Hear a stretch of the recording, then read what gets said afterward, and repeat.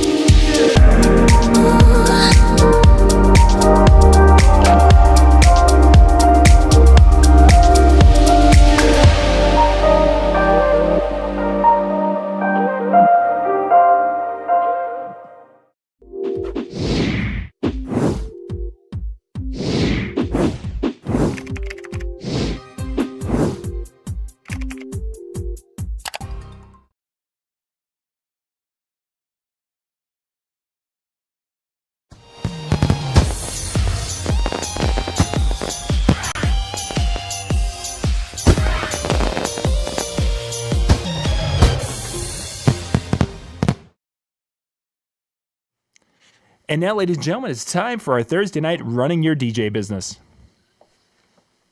I didn't want to say because How you Brian's doing, not there. Tony? Doing well. Aloha. Aloha. Do you like my view? Oh my goodness. Look at I that like, view. I like that view. at It's that view. uh it's fantastic. Absolutely fantastic.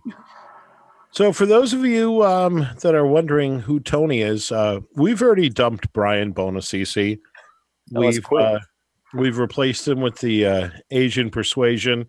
and so uh no, uh as you guys may know, uh we are very lucky to have our man um Brian, who is a internationally now touring mobile DJ, and he is everywhere. Yep. He is in. I don't. I can never say the name of the country correctly. Do you know how to say it correctly, or are you just as bad as I am that way?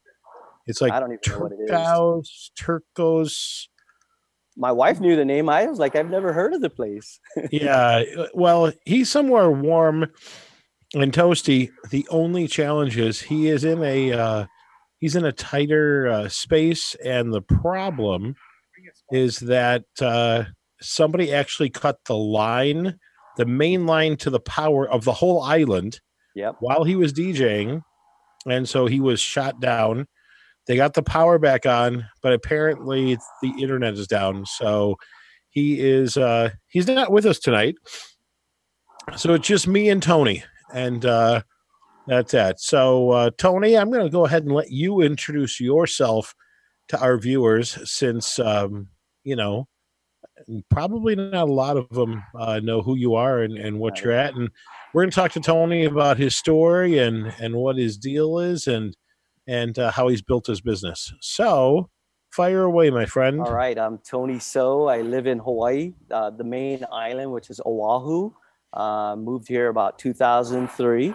Uh, my company name is The DJ Hawaii. So if you go to The DJ Hawaii or at Instagram at The DJ Hawaii, T H E DJ Hawaii, um, that's how I, I got myself started um, and try to you know make my way uh, from Guam. I'm originally from Guam, nice. so. I, I started in Guam and um, you know did some work out there, and then um, my wife was deployed to Hawaii in around 2003 after 9/11, and I you know we decided to come out here, and then her plans changed, and I decided that we you know as a family would stay out here and you know make the best of what we can, and here I am today. very cool so so how did how did you get the the dj bug what happened how did you get into it what what made you say i'm going to forego making a real living and i'm going to be a dj instead and disappoint your mother Yeah, that's actually a good uh, question. Uh, when I uh, was young, uh, I went to a private school, and I, I just love playing music. So I, back then, I had two double deck cassette players, and I, I, I wasn't trying to mix. I was just trying you're to showing your age off- just to let you know Yes, I now told everybody you're over the age of 30 Yes, I am. But uh, what happens? Uh, what what happened was I was at an event, and then at the end of the night, after playing uh, music, uh, the mother of my friend came on. She goes, "Oh, how much money do I owe you?" And I'm like, "Oh, what?" And she goes, You've been playing music all night. I have to pay you. She goes, What is it? Do you want me to pay you $75 an hour? Do you want me to pay you $75 per hour? What do you want? And I was, I think I was only 12. And I said, um, $75? And she's like, the whole night? I'm like, yeah. she wrote me a check, and that's where I showed my mom, and she was like, that's too much money. You have to return it. But that's how Wow. I discovered it. Yeah. And then um, uh, the first chance that I ever got from um, uh, to perform, um, you know, officially was at my sister's birthday party. Uh, she couldn't afford a DJ back then. The You DJs were charged 100. your sister. No, I didn't. Your sister. Nice brother. nice brother.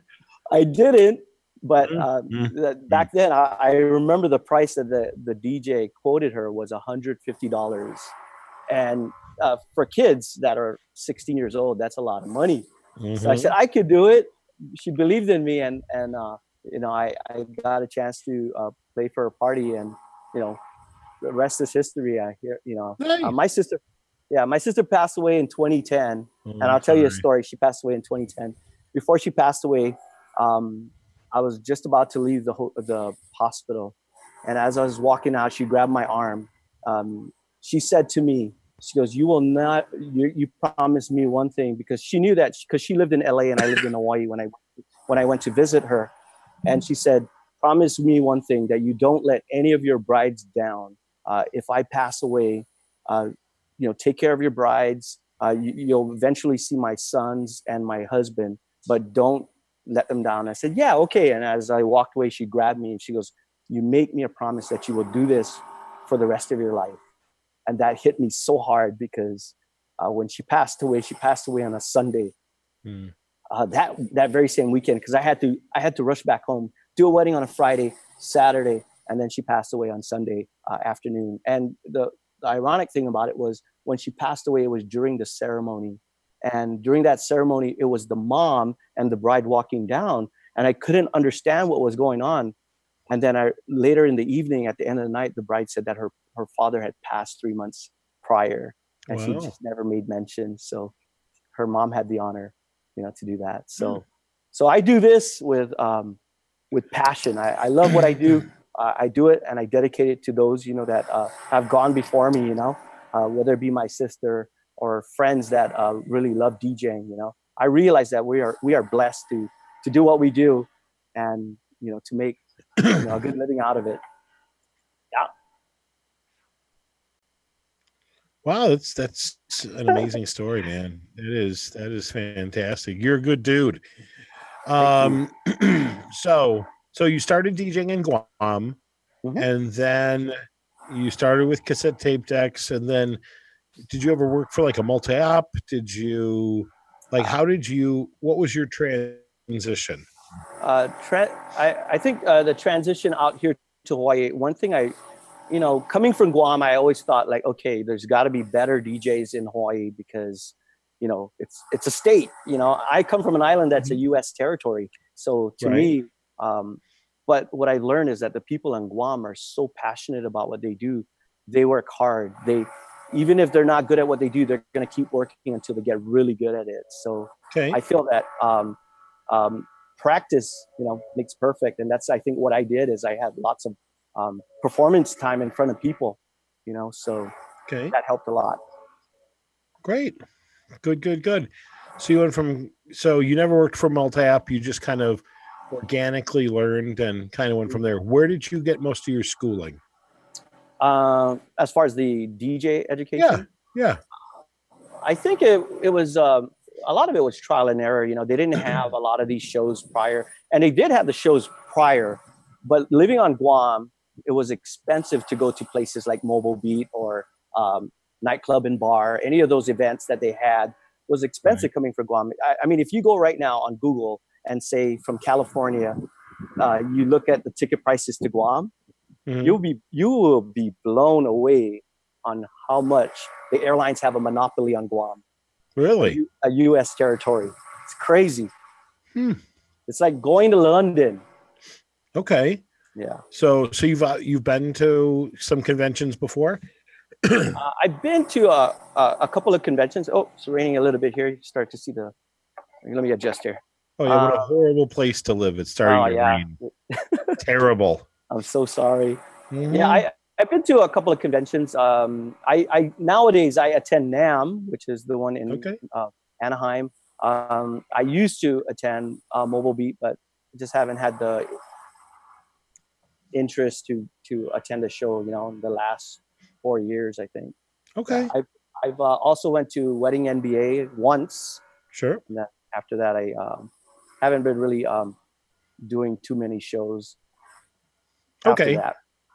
So we've kind of you've developed, and now your wife got um, uh, stationed in Hawaii. Terrible Mhm. place to live, and so, sorry, yeah. you had to start all over again. So Yeah. how did you start? What makes you significantly different than any of your competitors, and what makes what makes Tony stand out?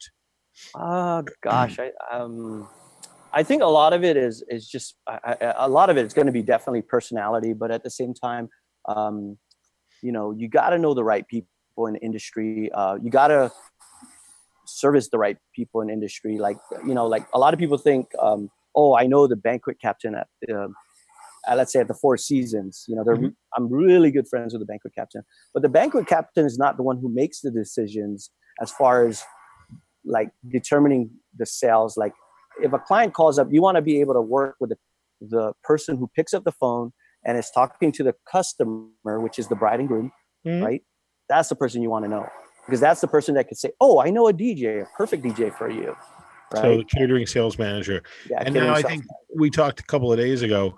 The majority of your business, though, is long distance. Like you're a destination.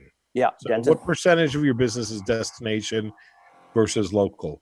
Uh destination's about 90 95% Okay. and, I, and I'm lucky to get uh, local weddings. If I, you know, I get I'll get a few, but I can I can count in one hand how many local weddings, and those local weddings are probably like 300 to 500 people. But that's really rare for me. I do a lot of the destination, and, and you know, a lot of that's because uh, when you're when the people that depend on you a lot, whether it be the Four Seasons, uh, Disney, Aulani out here, or Marriott, um, they're gonna always be feeding you uh, opportunities. So at the end of the day, you're o- you're mostly working with their, their clientele, which is destination, Gotcha. where where you might be able to focus if you're focused on a local hotel that does a lot of local weddings. hmm Then that's what you're going to get. You're going to get a lot of local weddings. Got it. So So you deal more with like the international destinations, more the full service resorts. yes, Okay. Exactly. And do they just refer you or do you work on a wholesale? Like our friend Jody, who's tuned in here somewhere, or she was Mhm. anyway, she works yeah. with Caesars uh, Resorts, and they and uh, my friend J.R. Silva works for Mhm. um, Disney, and so they work on a wholesale level, and they essentially most of the time they're being booked by the actual um, Yeah. catering sales manager, or there's like a an in-house event planner that takes care of it. absolutely, yeah. So you do it that way, uh, or Um, do you deal with the client directly? Uh, I have the best of both worlds. Um, Okay. I, I, I- don't want this this uh, interview to like incriminate me, but at the same time, I have the best of both worlds. Where the what I love about Oahu is the hotels are very fair. So if the client um, heard about me and they want to hire me, um, the hotel doesn't get in the way. They don't turn around and say like, "Hey, since they're booking with us, you need to have them be on our BEO, which is the banquet events order." Sure. uh, you know they if i find the lead or the customer comes to me they don't even worry about it because they're more um, appreciative that i'm going to be at their hotel and that uh, i've taken away uh, one less worries for them to worry about so uh, Okay. i have that right out here yeah, so Gotcha. So then, are you a member of like the local wedding associations? Uh, is there a NACE chapter out there, or an. ILEA chapter, or are you just a guy knocking on doors and grinding away? um, in my mind i'm a, uh, in, in my mind i'm a member of all those organizations but Okay. Uh, I, I pretty much what I did was um, I believe this is I wanted to create my own platform. So I created a website. It's not the best website right now because I kind of like reset the website. It's called Hawaii Wedding Pros. So if you look that up, HawaiiWeddingPros.com, it's a Okay. website that I created and it was kind of my platform. And that was kind of like the NACE the other like uh, associations that are out here. But it was just a bunch of good vendors that I said, hey, uh, if you'd like to be a part of this, you know, if you know if you would like to be a part of it, you know, please join it. And and it worked really nice. I I, I produce um, wedding showcases for hotels, like uh, you know out here. So that's one of my things that I do as well to kind of like build my own opportunities, which is basically another word for platform. Uh, because okay. if I don't if I don't do that, if I don't advertise, if I don't advertise on Yelp, if I don't advertise on the Knot, if I don't advertise on Wedding Wire, nobody's gonna see me at all, right? So, so I'm a lot of your business does come from that. Um, no, um, a lot of my business comes from word of mouth and referrals from um, from the hotels.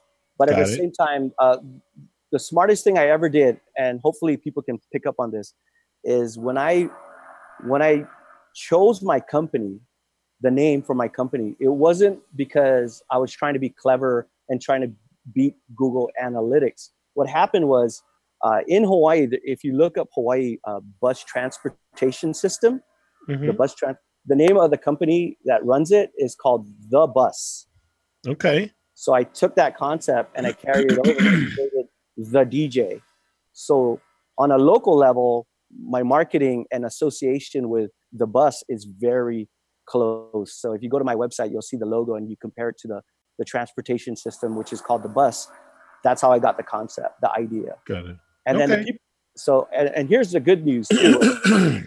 I got a call from Google, and they're like saying you can't do that.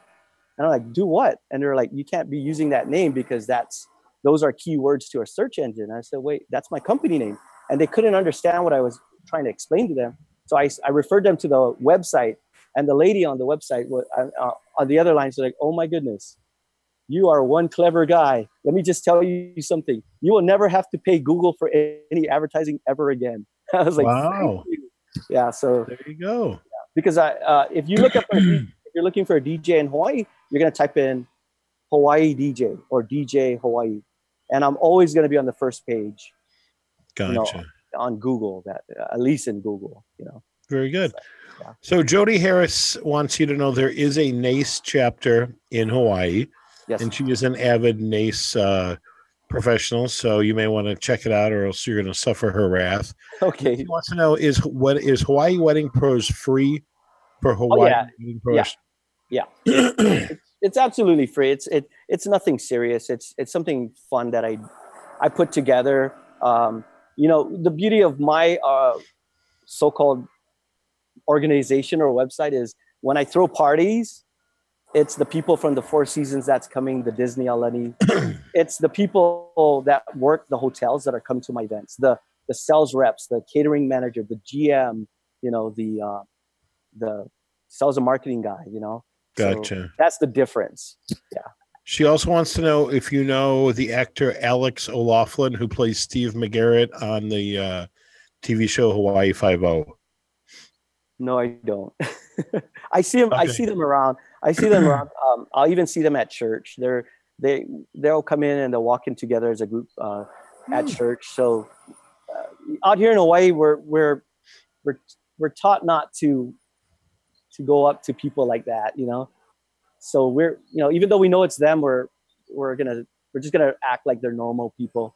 Because they are normal people. They Absolutely, just yeah. do something different than us for exactly. a living. Yep. So, well, if you ever need to know anybody in Vegas, just like how you know she assumed you know everybody in Hawaii, um, she must know everybody in Vegas. So if you ever awesome. want to meet Wayne Newton, she's your girl. Oh, okay. Oh okay. Um, so she wants to. How many weddings a year do you do? Because you're an independent. Yeah. Right. Okay. Yeah. So how many weddings are you? Uh, does you are you producing? I, I average about hundred weddings a year. Okay.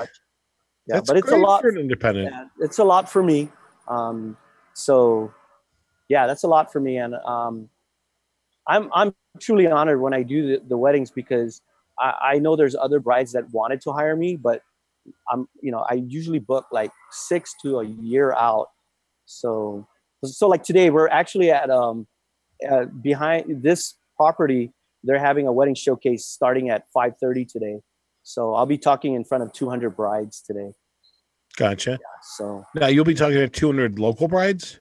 uh, this is local, yeah. But see, I attend this. I, I don't. I come to this show to educate. I don't come here to try to hire anybody or book anybody. Rather, I'm sorry.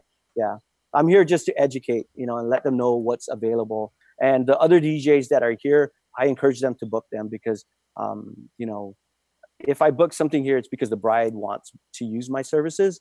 But Mhm. uh, my mindset is I'm here to educate and help the DJs have a voice at these events because usually it's the wedding planner that has the voice, the florist telling people how great their flowers are. And then Right. before you know it, the, the DJ's budget is like, I only have 500 bucks for you. It's like, that sucks. You know what I mean? So I, I designed this show where I could speak and be the voice for the DJs and entertainment so that they're prioritized to the top of the list. So you actually give a is it? Do you actually give a suggested price point for uh for brides to spend on their wedding on a DJ? Um, Or do you just I- talk about things to look for? yeah things to look for uh, you know because to me you know price is i think is subjective you know what i mean uh, somebody could charge $5000 but they're not worth $5000 I'm Someone gonna tell charge- Brian you said that about him. Don't tell them that. No just kidding. Or somebody could be a thousand bucks but they're worth ten thousand dollars you know what i mean? Right. but they don't know their they don't know their value and that's where they that's where they need to understand that if you're going to do a career like this you got to love it and you got to respect it because you're you have to steward something that there's no defined margins you know? There's no defined margins. Nobody tells you that you oh you can only make 500 bucks as a dj heck no you can make $150000 a night you can make $50000 a night you can make $5000 a night or you could be in vegas and make you know the headliner show and make some good money there too But you you're know. no longer a mobile DJ then. You've shifted to the Yeah, club exactly. remixing world. So But but yeah So- that's what i'm trying to share is like you know yeah, there's um, no question that life is is endless possibilities. Every day is just whatever you choose to make it to be. So it Yeah, starts, I, with agree. your attitude. So, Yes. so there's that. Yep. Um, So yeah. So I, I got yeah. That's really what it is. I, what I love about Hawaii too is the fact that um, you know, like Brian, he travels everywhere. He's going to Italy. He's going to New York. He's going to California. I get to sleep on. I get yeah. I get to sleep in my bed after I do my gig. I get to come Yeah. home. I get to hug my daughter. I get to hug my my kids. I get to hug my wife. You know, that's a good feeling. I used to I used to tour the Japan circuit in Tokyo, so I know how it feels to to, to travel. Uh, Really? and it was brutal, man. It's not fun. Hmm. Tour DJs, they're they're it's not as glamorous as people think it is. yeah, It's Tiesto brutal. looks like he's in pain. Oh yeah. Tiesto looks unhappy. At the end of the night, when you get a to go home, hundred thousand dollars a year or a night. a night is Brutal. brutal.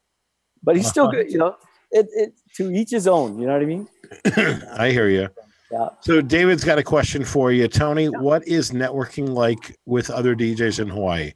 Is it very clicky? Is it uh, pretty warm and inviting? Um, it's it's very unique. Uh, I think there's a few of us that are that we get along, but I, you know, there there's some DJs are very competitive, but they don't show it. I mean, they're they're pretty polite about it. They don't. Um, I don't think it's cliquish. Uh, they're friendly. That's all I can say. Okay. Um, yeah, as far as like DJs are, there's really no big DJ network because I think it's it's such a small island that people are competitive. But like, I'll be friends with a few DJs and I'll refer them. Um, Okay. But I don't I don't try to be friends with everybody because um, I I try to target my um, my clientele and I don't want to be like referring any kind of DJ, you know, to do, you know, every DJ is created differently. So, uh, you know, I can't just say, oh, okay, just hire this guy. You know, Gotcha. you gotta kind of match them. All right, let's shift for a minute. All right. Did Yeah, you watch did you watch the Oscars on Sunday night? a little bit, A little not bit. too much. Yeah. Okay. My question for you is with the why. the wh- the why? So why didn't you watch the Oscars on Sunday? Oh, why didn't I watch it? Um, There's no wrong well, answer. did it did it fall on a Sunday? It fell on a Sunday. It was Sunday yeah. night.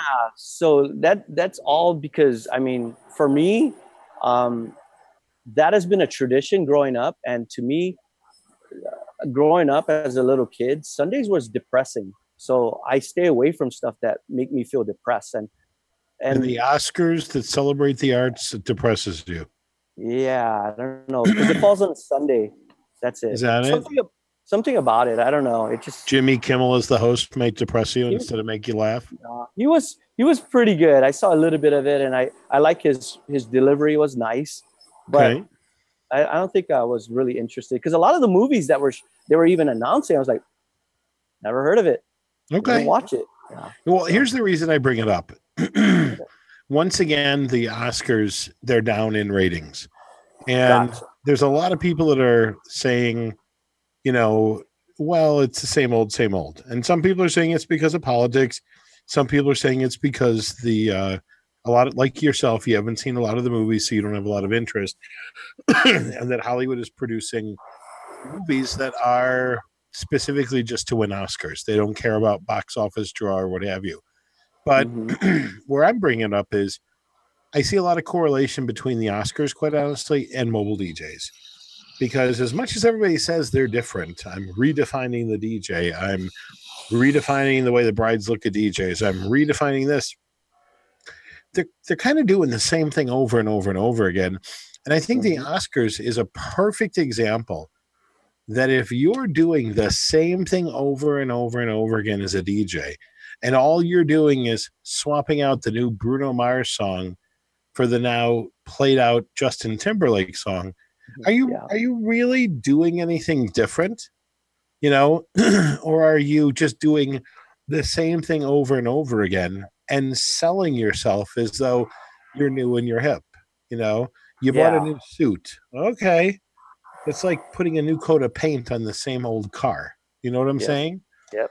So so what do you do to keep yourself fresh, keep yourself different, and keep yourself from not being the Oscars? Oh gosh, that's a really good question. Well, I'm Uh, a really smart guy, and that's why I ask the really good questions. Yeah, good for you, man. oh gosh, I, I, you know, here in Hawaii, if you do, sometimes doing too much sometimes could hurt you. You know what I mean? If you and doing too much meaning like, oh, I'm always on social media. You know, I'm on top of my Facebook. I'm on top of my website. I'm on top of marketing. I'm on all the expos. I'm doing this. I'm doing that. I'm out networking with everybody. Sometimes too much. It's just like film. If you overexpose film, it's ruined, right? Right. So I, I truly believe um, you have to, you have to pace yourself in this world where it's fast. I mean, this Yeah. world is so quick that you got to pace yourself because it's a marathon that we're we're running. And if you if you sprint in the front end, you're gonna die out before you even make your you you meet you reach your peak as a professional DJ. You're gonna be burnt out. So I try to stay fresh. Um, I, appearance is important to me. Uh, I work out a lot. I do CrossFit. Um, Okay. I don't have the best diet, but I, you know, I make sure that I work out. Um, I put some time into my workouts. Um, Okay, but here's my here's my question. What about your performance is different?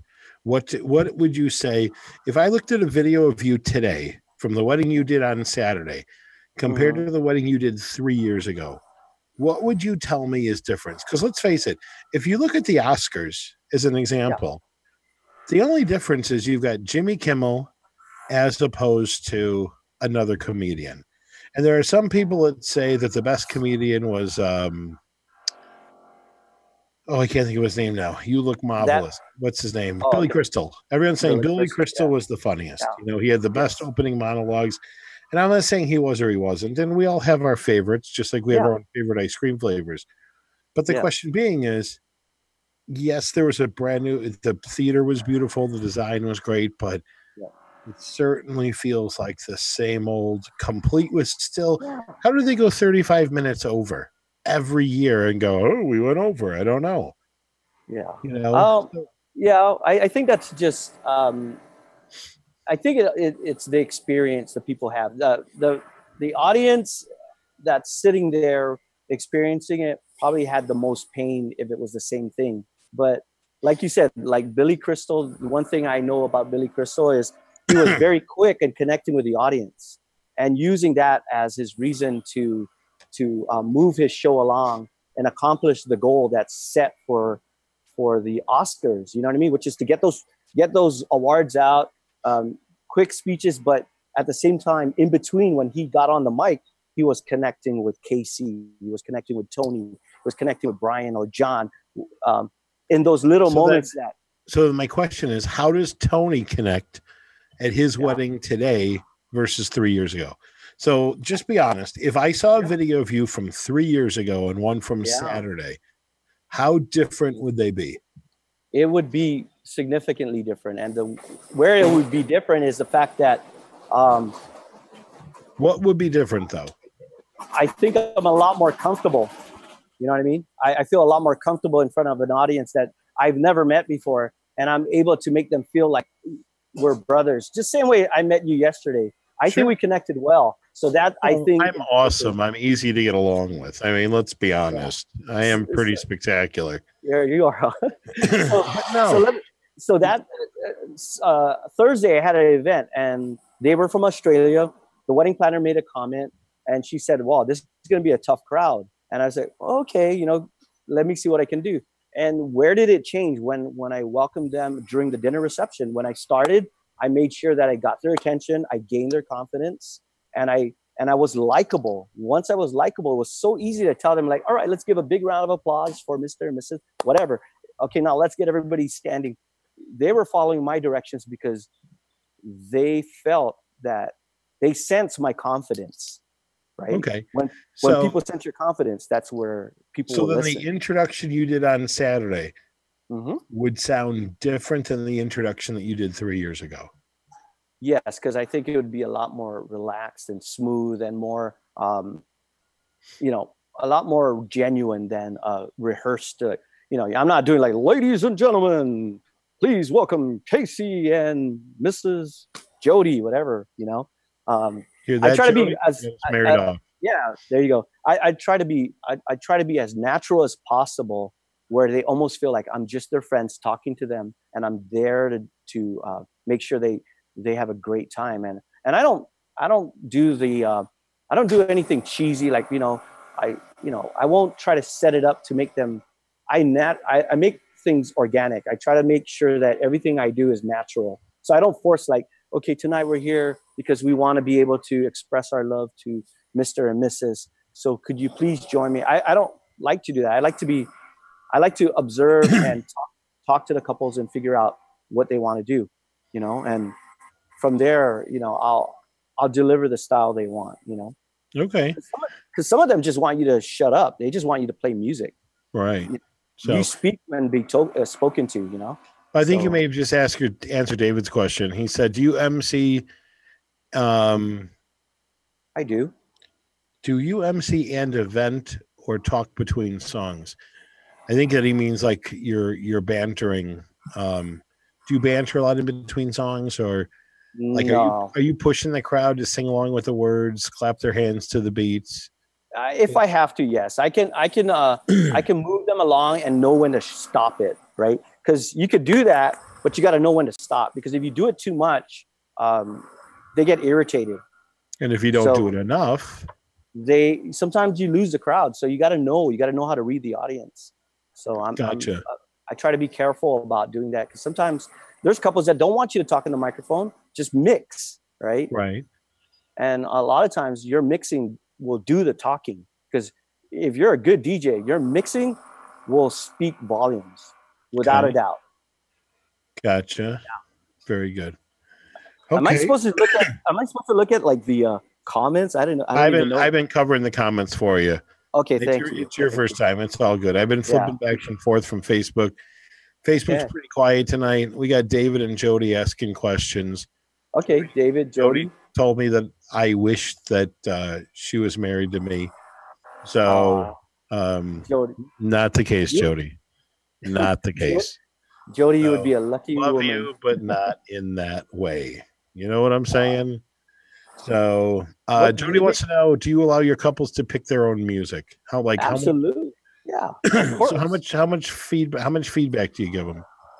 Uh, I give them. I, I provide them with a music planner, and they could choose their music. It, it okay. So when I when I when I do that, that's not my that's not my scapegoat goat rather to say, well, they didn't dance because you gave me the music choice.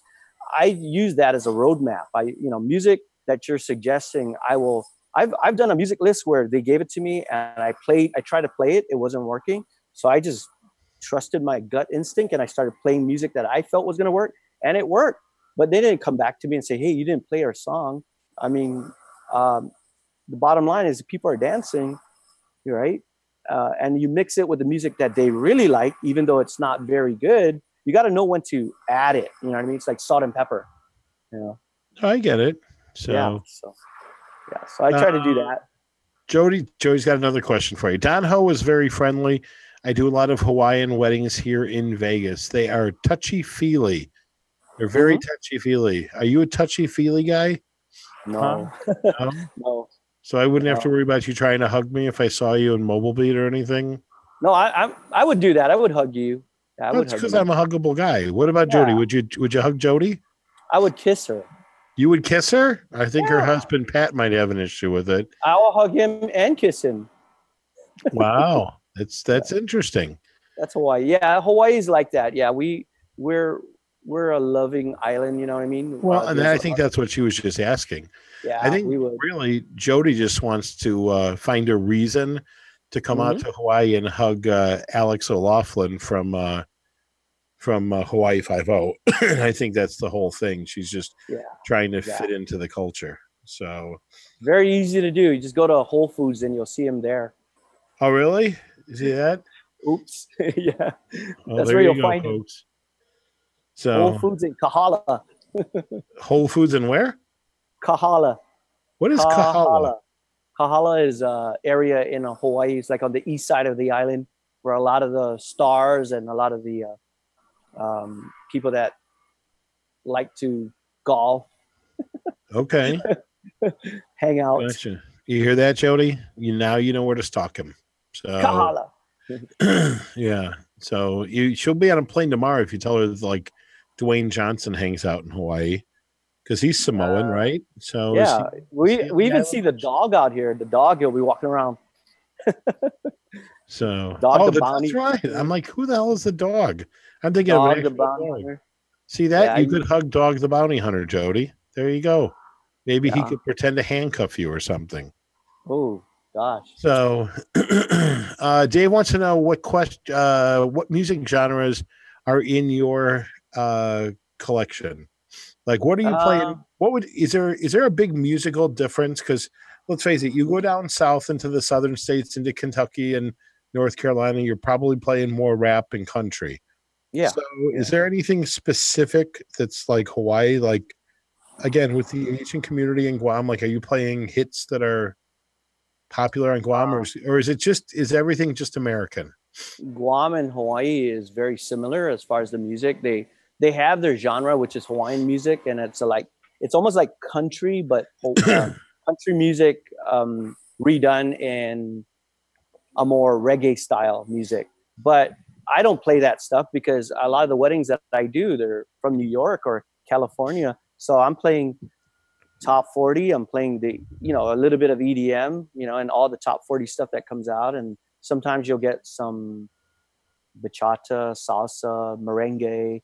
Um, but a lot of times you just got to know how to like weave all that, those genres together and be able to have a solid evening, you know, because out here we end at 10.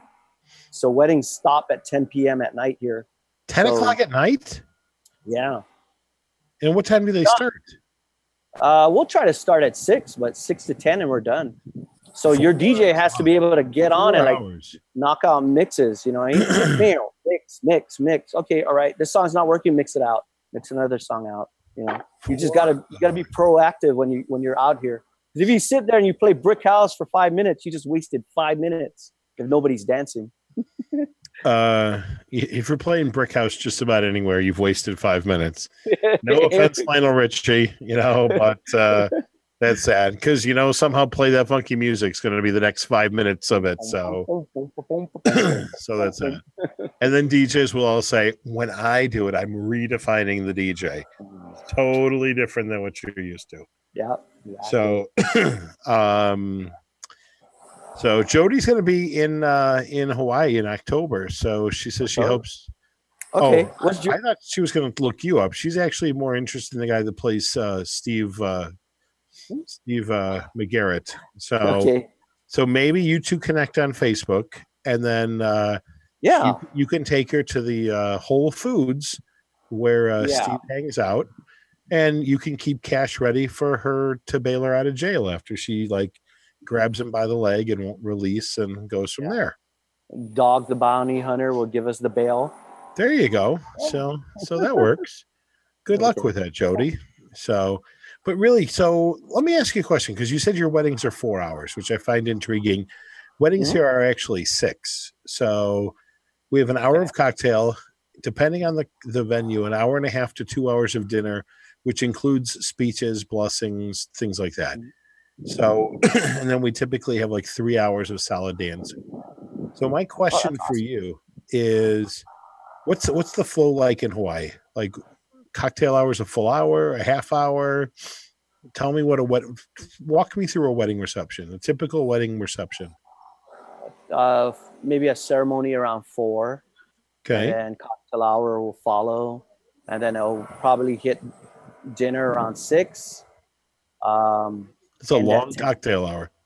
yeah so it's weird It- it- and the reason why it's long is because we have sunsets here that brides are taking advantage of and they want to maximize their time to take photos so they're out on the shoreline taking photos with their photographer and videographer so cocktail hour runs long because of that reason and and they'll wait till that sunsets and then they'll come in and then they'll reset for dinner you know and that that's when it's our turn to do our thing but um, sunset dictates our our timeline out here in Hawaii. That's a Okay. that's a fact. So we've had six hours of cocktail hour because the bride's taking pictures. Yeah. and then what what happens then? Cocktail we- hours over. Are people seated? Like are most of your dinners plated? Are they food stations? Buffet? What's the story? Yeah, we do all three types. We have uh, food stations, we have plated dinner, uh, and then What's we the have majority? buffet. What's the- Majority of them uh, would be plated. okay. Yeah, so the traditional hotel plated- out- property I'll be plated. Three course meals or four course Okay. plated. A program uh, in between sets, dancing, um, any any given chance. So is Uh, dancing in between courses or is it Yeah. okay? Kind of So East then- Coast style. Yeah, I mean. So then they traditionally cocktail hours over, mhm. and then what? Up tempo music is played, while they're then- going in. and Yeah. then what? Do they do the introductions? Do they Yep. So We it's grand entrance. people come in, sit down, introduction slash grand entrance slash grand march. Then what? First dance. Sometimes or- they'll do first dance. okay, first dance, got it. Yeah. Then after the first dance, they'll. Um, sometimes the groom will come up and do a welcome speech. But then Okay. after that, they'll Got be it. seated, and then uh, I'll do a little bit of the house rules and just kind of get everything out of the way, and then uh, introduce the uh, banquet captain or the person in charge for the for the evening, and then let them take over the uh, the dinner service. And Okay. then, uh, you know, come back after each set. So when they pull the food, like the first course where they drop salads, um, and they're all settled, um, I'll probably do. I'll have the the staff pull, and then I'll do maybe a couple of speeches. And as soon as it's done, I'll go back right into music, and then they'll drop the main entree. You know, Okay. then after they pull the main entree, uh, we'll do like father daughter mother son dance. And when do they Uh, cut the wedding cake? Uh, they'll do that usually in the front end, like, uh, or actually no, uh, we do it like around dessert time. So the third on the third, where right before dessert, they usually do the cut cake, uh, cake cutting. They cut the cake and and- then the venue takes it away and cuts it up, or is it put out on like a on Yeah. a dessert table? Uh, there's dessert table, and um, they also cut the cake up. Yeah. Gotcha. So the You sound a budget's little- here. Sound a little confused about what's going on. They they uh, they uh, cut the the cake. Uh, you know, sometimes it's just based on budget, right? So a lot of the couples here they can afford to cut because if you cut, uh, if the hotel or the venue is cutting cake, they're charging per slice, right? I'm sure they do Okay. that in the mainland. So uh, if they do that, um, that's all a budget thing, you know. So to So- save money, everybody just reaches in and grabs a handful, and we're good. If they're going to do it that way, yes. Yeah. Okay. Yeah. So David says it's true, Jody, that uh, he has been to the island, and most people are from the mainland, and the jet lag hits you by nine or ten, and you're done for the night. So is that That's right. true? Yeah, it's very true. So the Uh, haoles can't hang. Is that what you're saying? Well, if you can outdo this DJ, then you know you, you're pretty impressive. So because uh, you gotta you gotta be able to. uh, What I like to see is it's very funny is that I'll set up the dance floor, they're ready to go, and it's like hour hour in they're still going, two hours in they're still going, three hours they're going, and then like in the fourth hour when it, you know already that it's like three or four in the morning in the mainland, you can see them just like staring. Got it. They're done. Yeah, it's true. It's done. I feel that way with Vegas sometimes. Yeah, yeah, exactly. That's exactly that that Yeah. that feeling is is real. It's a real Okay. feeling right there. All right, Jody says, since your weddings are destinations, what form of communication works best? Do you Skype? Do you find yourself doing emails? Like, what's the best way for you to communicate with your out of town uh, brides and grooms and such? Um, yeah, I, I I try to I try to streamline them into the uh, website first, and a lot of them do. Um, so you've got so- like online planning tools? I don't. I took that off. I used to have it, and I took it off because um, Because it made too much sense, made it easier for the bride yeah, and it groom. was just it would just yeah. I don't know why I took it off. I just felt like that. I'm going to give you one website. You ready? www.djeventplanner.com. I got it. Spend the money. I have it. okay? I have it. It's just not on my website. Well, he's still spinning with cassette tapes too, guys. I got news for you. Clearly, he's making seventy-five dollars a wedding. yep. no, So. um, I have it. Uh, I'm, you know, I I like. It's just just preference. A lot of that stuff is preference. you know? Okay. Yeah. Okay. Dave's got a question. that. that website is great. Uh, let me endorse that website. That site is phenomenal. They are Oh, they are so. It's a ringing on. endorsement from a guy who doesn't use it. Yeah. You hear they're- that, they're folks? spot on. Anything else that you own that you don't Okay. use? okay so here's a good example like yelp right so yelp Yeah. called me uh wedding wire called me and wedding wire said well you got to spend this and spend this spend spend spend and i was like you know what i'm not i'm going to stop sending people to your website to give me reviews because you're taking my work my reviews and you're making money off me so i'm going to stop so that's what i Yeah. did fact, know, we could do a whole show about online reviews. And yeah to be that's- honest with you, it's uh, it's unfortunately it's a necessary evil. It is, And, yeah, uh, and that's the reason why I, I, I just I leave it the way it is. I make sure I check it every once in a while, make sure that it's updated and that the links link back to my website. That's it. But I'm not gonna I'm not gonna go dump money on. I'm sorry, I'm not gonna dump money. You're on not going to those- advertise on it, No but you, way. no you way. still are directing the Yeah. brides to review you on it, right? Or do they just do it if they feel like it? Yeah, they do it if they feel like it. Okay. Yeah, So the thing here is that uh, Tony um, doesn't use online planning tools, doesn't work very hard for reviews, doesn't do any bridal shows. Um, we're lucky that we got him out of bed to do this interview at all, folks. I mean, so you know, he's just hanging. Uh, he's got his surfboard underneath him. He's ready to go. no, yeah, I it yeah. So I think you know if people are trying to understand how to become highly recommended by your venue you just have to be uh, you got to pay attention here here's what we have to understand about the hotels Well, here, hang, hang on one second because it might tie Yeah. in. Jody asked, "How do you connect with a new vendor you want to do business with?" So this all might tie together really well. So okay okay, Okay. so you want me to answer that question yes yeah, yeah. I Okay, figured yeah, it kind okay. of tied in with the way that you started about doing business. yeah so um, there's always going to be a need that needs to be filled and we got to remember those people that work um, nine to five at the hotels whether they work in sales and catering they have a quota to meet they have a goal to meet so Right. when they book a client let's say if they book this person january 2019 and january um, 1st right January 1st or January, okay, let's make it January 15, 2019. January 15th, 2019, right? Okay. Once the hotel books that client, they sign the contract and everything is, is good to go. That person in catering has to move on to the next sale. Right. They cannot they cannot babysit 115, 19, who is like a year out. But there Right. are brides, there are brides that are out there who will keep calling them every day, every other day, every week. I hear this from Sure. uh, different We all have that. yeah, and they don't realize that their time is being consumed. So, what a lot of the hotels out here realize, like, oh my gosh,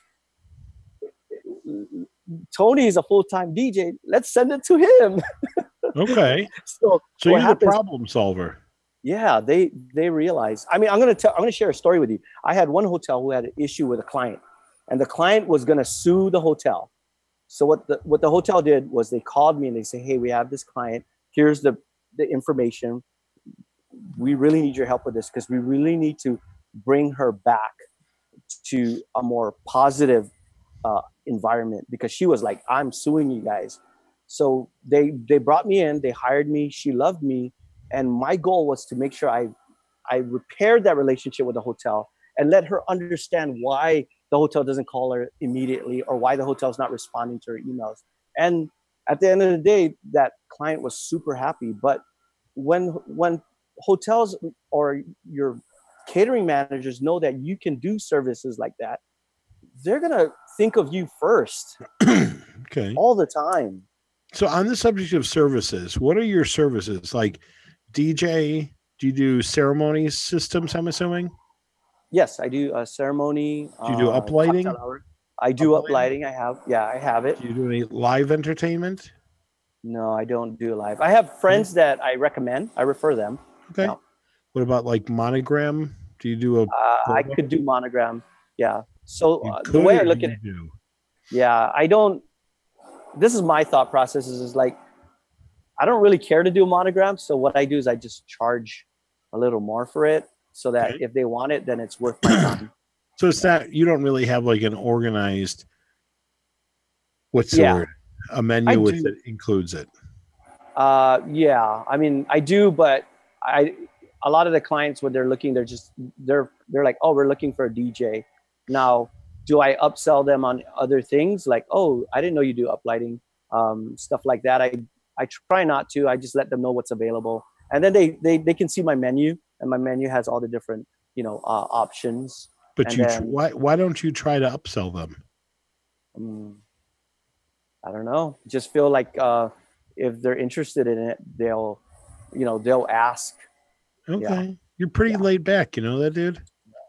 Thanks. So okay. that might be a good or bad thing but I, i'm you know i yeah i just Okay. feel like whatever works is good no for me. judgment. We're all good. Yeah.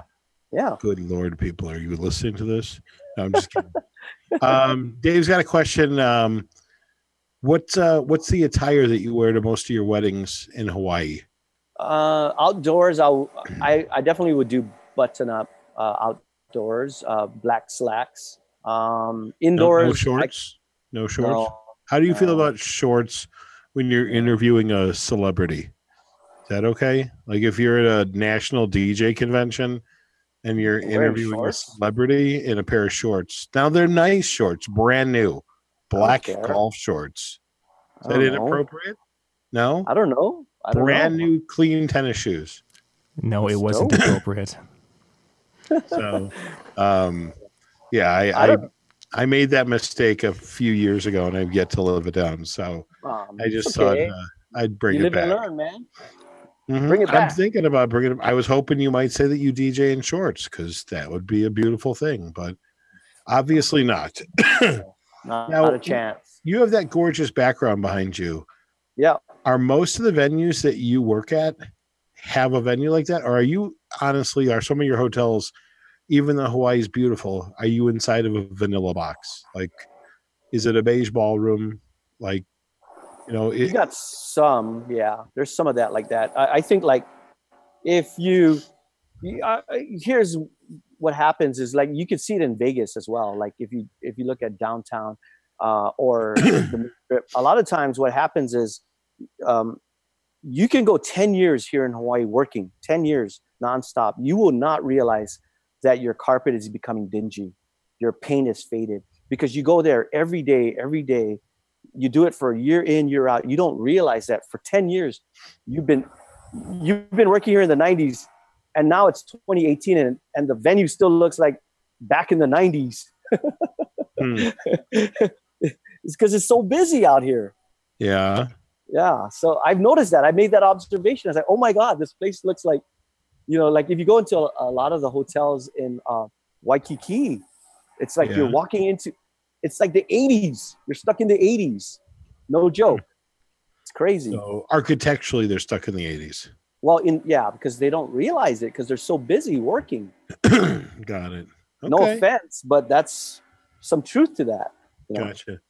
Jody wants to know what the secret is to being one of the most referred DJs in Hawaii. Is it just your your cool URL, your www.thedjhawaii? No, um, you could have the best website. You could have the best the best uh, ULR. You could have the best keywords, uh, but you still got to back it up with service. You know, and and I'm not talking about, you know, I'm not talking about. I'm going to use this word. I'm going to go on the edge and say it's not about kissing people's ass. It's it's about being genuine about yourself and uh, your standards on how you deliver your service just because I do 100 weddings a year doesn't mean I'm going to go to my next wedding saying, oh, it's another wedding. I'm just going to go do it. You know, I care about those couples. I want to make sure that I understand what they're ex- expecting out of me, Yeah. you know? So every day is a different day.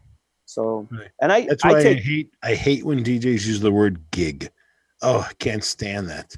yeah, well, I've got a know, gig. It's not a gig. It's somebody's wedding. It's somebody's bar mitzvah. Yeah. I, I seriously, like, and, and I'm, I'm a, I, you know, I'm very, I mean, I'm, I'm very passionate about what I do. And, and if, if I, if I don't feel like something is right, I'm going to speak up. You know what I mean? I, Okay. So that's Got it. pretty much it. Yeah. I think Alright. it's friendship too. Another another key is um, getting to know your your people outside of just weddings. Uh, being able to take them out to dinner or just go and you know I I did something that really worked well last probably like 2014. Um, I used to uh, do like mix and mingles where I would invite the hotels to come down. They would all come down, and I and my goal was I I told them I said I'm doing this because I want you to meet the person at the Hilton Hawaiian Village. I want you to meet the person at the Four Seasons. I want you to meet because if you're booked, you can refer the person and you have a face to the name, you know. Sure. And they love that idea, Good. and and that's a lot of the hotels now they they kind of uh, help each other, you know. They gotcha. Yeah. So So David's got a question. Are most of your ceremonies outside or inside? Like is the weather so ever so inclement that Mhm. you you're stuck to go inside or are they really pushing the background that you have behind you? Um, no, they're they're pushing the background and behind you. It's like uh, like I'm gonna show you. Uh, sorry, like this angle right here of the the. Let me see if I can give you a good view right there. Look at that view. It's a ceremony. Let me see if I can. Let me see if I could. Uh, okay, yeah, I could. I think. Yeah, I can. Am I losing signal? No. No, yeah, you're so good. that you're good. okay. Oh yeah, so this is- ceremony. Yeah, that's ceremony right there. They're getting ready for uh for today's show, but that's the view right there. So Very cool. Very so that's what they try to push and they'll they'll push it till the end if they could if it's going to rain they'll they'll call it like at the last 30 minutes got because it. they want an outdoor wedding sure. ceremony that is yeah All right, so we're not going to see you at Mobile Beat, right? no yeah no But what about Um, Chicago in July? Huh? Huh? I, i'm trying to work that out because my schedule is filling up but um i will definitely uh, make plans to go to that i'm gonna i'm gonna try to make it to that show um And tell everyone what show is that? I, I I forget. I can't remember the name of it. It's called the Mar Marquee- Marquee. That's right. My shameless plug with uh, no a minute left to go. hey, yeah, hats off to you. Um, I love your your vision and your goal with that. Uh, it's time to you know disrupt the market, and you're doing a great job of that.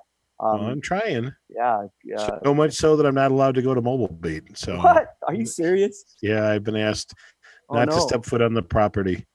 That's so okay. I yeah. I don't get it. So I mean, I think they've they've got a lot to offer, but just like everybody, I'm going to try and build a better mousetrap, and that's Yeah. you know, I wish Well, them nothing but the best. So, Yeah. and I'll be at Photo Booth Expo next week. And here's the other cool part: even though Tony um, won't be there, Brian and I are going to be. We are taping.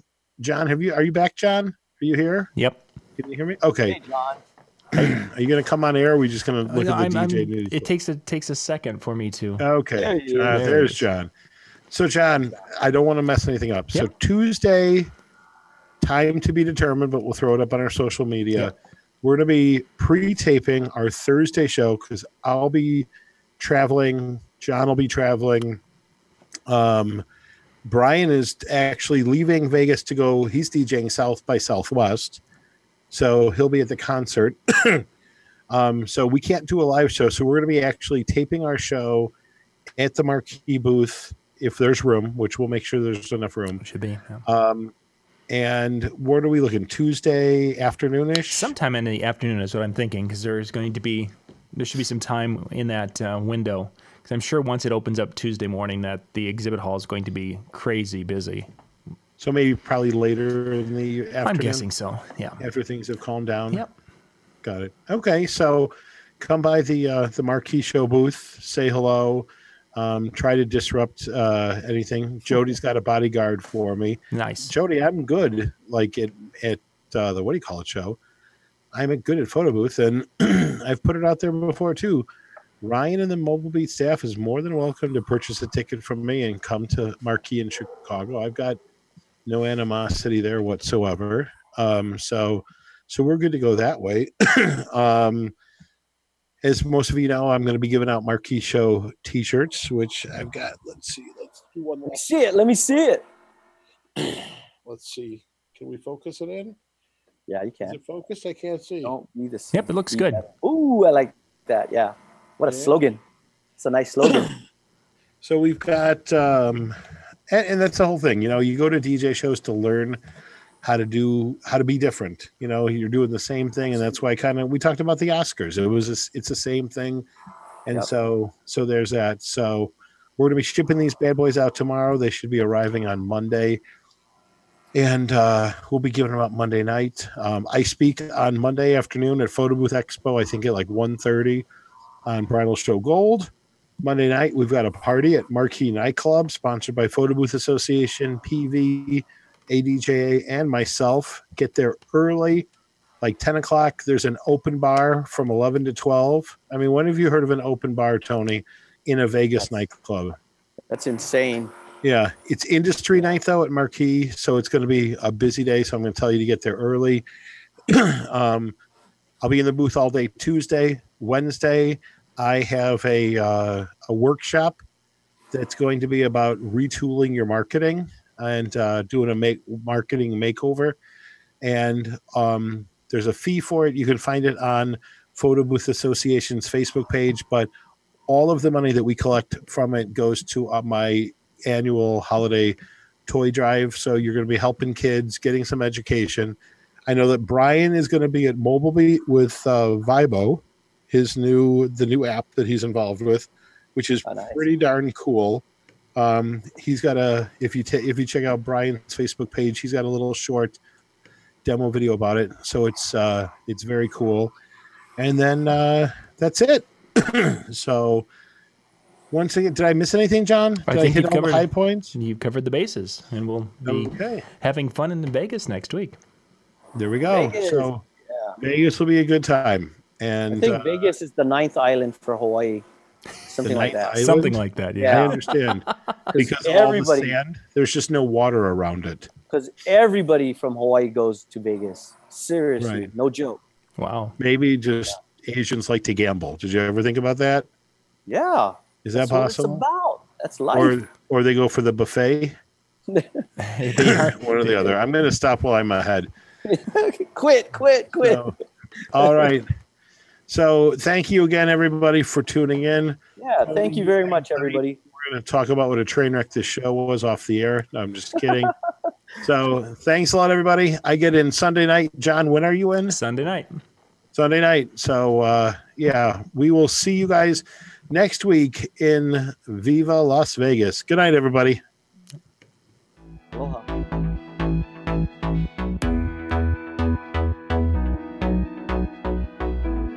Tonight's DJ and TV show is sponsored in part by Electro Voice, DJ Event Planner, ADJ, NLFX Professional, Promo Only, Numark, and DJ and TV Insider.